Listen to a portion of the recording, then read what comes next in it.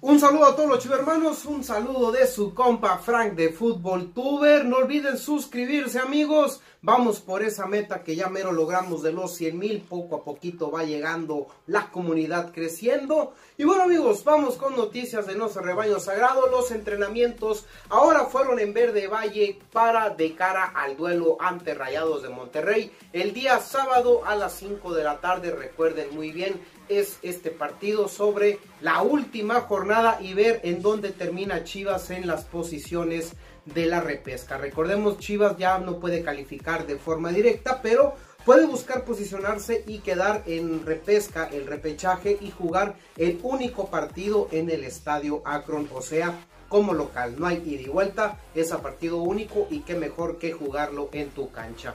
Y ya te registraste en Fútbol Team Game, ya te estás en las ligas, ya estás por allá dándole duro que pido. Recuerden que tenemos el Fútbol Tuber Team, necesitamos defensa central, lateral izquierdo, haz de cuenta que somos las chivas, ¿no? Pero de el Fútbol Team Game, ¿no? Así que te dejo el link en descripción para que te registres y juegues y también en el comentario fijo. Se está poniendo muy bueno el partido por allá y el juego, por supuesto. Pero bueno, platicamos sobre nuestra chiva rayadas de el Guadalajara, amigos. Primeramente con Fernando Beltrán y las palabras que le dejó muy marcado Matías Almeida. Hoy estuvo el nene Beltrán en una conferencia vía Zoom y comentó lo que están viendo en las pantallas, ¿no? Que eh, prácticamente Matías Almeida le dijo que era una carrera eh, que puedes caer, ¿no? Muy fácil en los vicios, en la fama, que te puede caer el 20 muy rápido, pero rápido se te puede terminar. Así que creo yo que el Nene Beltrán es de los pocos futbolistas que están bien encaminados, sabe dónde está parado, sabe lo que a él le ha costado estar donde actualmente está, tiene un ajuste de sueldo nuevo, le está yendo muy bien, entonces, ¿para qué se anda metiendo en fiestas y problemas donde no debería, ¿no? Así que pues sigue dejando el legado de Mateos Almeida, ¿no? Y más en uno de los canteranos importantes en el Guadalajara, que es Fernando el Nene Beltrán. Y bueno, platicamos ahora sobre lo de Jesús Molina, ¿no? Se sigue haciendo mucho ruido, la gente se sigue subiendo al barco de que Jesús Molina se hacía un lado, sí seguían las indisciplinas en el Guadalajara y que pues no ha mostrado la postura, ¿no?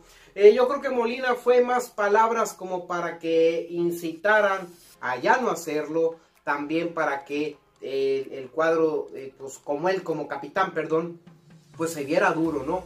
Pero se ha visto endeble. Yo creo que no, yo creo que en la cancha ha funcionado Molina, ok, lo extra cancha, pues tampoco lo, es una niñera Jesús Molina, ¿no? Ya están grandecitos, ya saben a lo que le tiraban, tenían un contrato y un convenio de cero tolerancia a la indisciplina, amigos. Entonces, si sabes que te pueden correr, rescindir el contrato, poner como transferible, si haces o sales de fiesta, ¿para qué lo haces, no? Entonces, yo creo que es totalmente la culpa tanto de Dieter, como de Gallo, como de Chofis y como de Alexis Peña.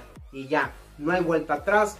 Eh, qué bueno que se puso mano dura porque hay veces que es muy endeble algunos equipos eh, sobre las posturas disciplinarias y qué bueno que Chivas incluso ayer en la noche publicando esta imagen de sobre el escudo, nadie, no, nadie pesa más que el escudo, primero la institución y lo comentábamos eh, ayer en los videos, nada ni nadie es más grande que la institución, no, primero es la institución, son los colores, son el escudo y después pues la materia prima y quien representa el escudo. Si no eres digno de representar el escudo, que te vaya bien papá, aquí no tienes cabida, ¿no? Pero bueno, platicamos también sobre el atardecito, ahorita se está haciendo pues polémico lo de Alexis Peña, porque se declaró aficionado al América, le están sacando tuitazos del 2011, del 2010, del 2012, típico, ¿no? Eh, le escarban a Twitter a ver qué saca la, prensa vomitiva, récord, mediotiempo.com y demás. Y a mí me vale, amigos. Carlos Salcedo llegó con esa etiqueta de americanista y se convirtió en un referente en la defensa central del Guadalajara. El Titán Salcedo es muy querido en Chivas y yo creo que no importó mucho que viniera mientras con pasado eh, aficionado a la América, a la América, perdón. Si te la vienes a partir por Chivas y demás, Peña ni siquiera pudo debutar en primera división, si no me equivoco, con Chivas. Jugó Copa, jugó amistosos, la Copa GNP, pero no lo recuerdo con, con minutos en Liga MX. Comenten ustedes abajo si sí si, debutó o no. Pero bueno, platicamos también que Ricardo Peláez eh, lo dijo muy claro, que un futbolista no solamente es bueno si eres bueno pateando el balón en la cancha, ¿no? Hay que serlo 24/7, hay que serlo tanto dentro como fuera de la cancha y creo yo que estoy de acuerdo con él. Un futbolista completo es un futbolista que rinde dentro de la cancha y se comporta a la altura fuera de ella.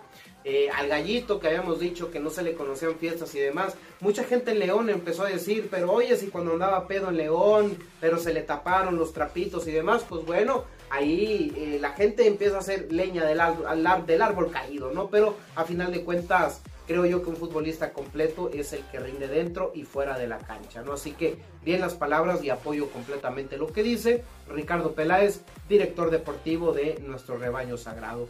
Y bueno, continuamos con las notas amigos y es que vamos a hablar de humo, de rumores, de fichajes y es que los medios nacionales dicen que interesa un portero a Chivas andan buscando portero. Ayer nosotros empezamos a hablar de Gil Alcalá porque Bucetich lo tuvo en el Querétaro, porque quiere venir a Chivas, porque no te puede costar muy caro y te puede dar todavía buenos años de rendimiento.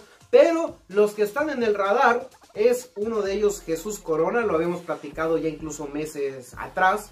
Jesús Corona, que y más por lo que ha hecho Talavera con Pumas y su edad, dicen, porque Jesús Corona no lo puede dar con Chivas en un añito más, ¿no? Pero yo veo a Jesús Corona como un portero que ya está muy veterano, no le puede aportar muchas Chivas y si te va a cobrar muchísimo, pues tampoco, ¿no? Es un portero que ya es, si acaso, eh, de corto plazo a uno o dos torneos cuando mucho, ¿no? Y quién sabe, ¿no? Corona que, ya va de salida prácticamente. El otro que suena es Rodolfo Cota. Eh, posibilidades de que venga eh, son muy escasas por lo que te cuesta Cota, por lo que León no lo quiere soltar y demás, ¿no? Entonces es complicado que venga Rodolfo Cota, un viejo conocido acá de Chivas, lo ganó todo con el rebaño sagrado, Liga, Copa, con CACAF, entonces es una opción sí, pero eh, lejana de momento. Veremos si se desenvuelve algo o si se acerca a ser un rumor más fuerte, ¿no? No solamente Humazo. En el Humazo también incluimos a Elías Hernández, un jugador que desde que está en Morelia sonó para Chivas, después sonó varias veces para que viniera al Guadalajara estando en León y ahora en Cruz Azul pues ya dio sus últimas pinceladas. Creo yo que Elías Hernández tampoco está para el Guadalajara y, no, no, no conviene, ¿no? Aparte que está el Conejo, está Antuna, eh, están miles de jugadores ahí en las posiciones donde está eh, Elías Hernández, ¿no? Otro de Cruz Azul, que el Rafa Vaca, que porque ya se va a acabar su contrato, eh, parece que lo va a renovar Cruz Azul.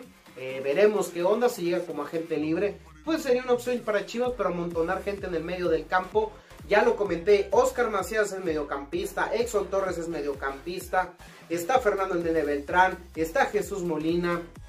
Yo no veo opciones. Alejandro Organista viene apuntando en la sub-20, mediocampista también. Entonces, ¿para qué tres a Rafa Vaca? No, yo creo que mejor busca las posiciones que en verdad se necesitan. Algún lateral derecho, un medio volante ofensivo, alguien en el ataque, alguien que rinda con goles, ¿no? Pero eh, yo la verdad ni Elías, ni Rafa, ni Jesús Corona. Por ahí Cota, pero yo veo bien a Gudiño. Puedes subir al tal Arrangel.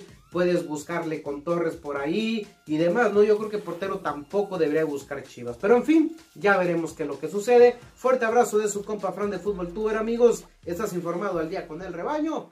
Nos vemos.